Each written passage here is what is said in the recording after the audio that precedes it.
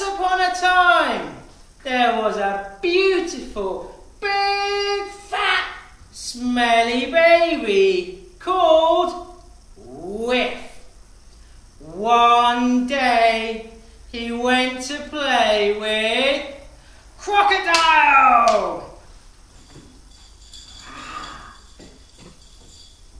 They danced and wiggled, wiggled and danced suddenly down came some tickly, quickly flies. They tickled their ears and tickled their eyes. Crocodile's mouth went snap. His tail went whee. Down fell the pictures. One, two, three. Mummy Crocodile was cross. She sent him home. Next day, he went to play with Monkey. Monkey. They had a lovely dinner. But suddenly, down came some tickly, quickly flies. They tickled their ears and tickled their eyes. Monkey was jumping around and squealing, and Jelly and Custard got stuck to the ceiling.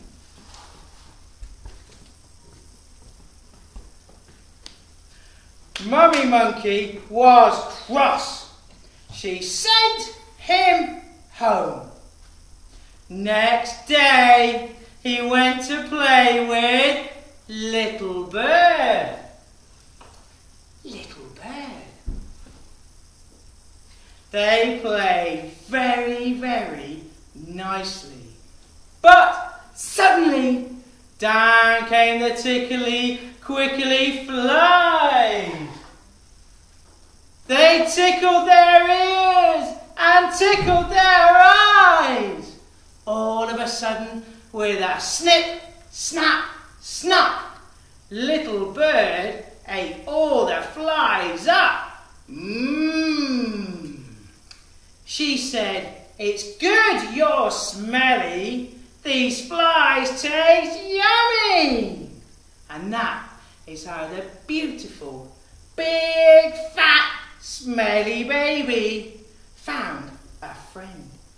And they lived happily ever after the end.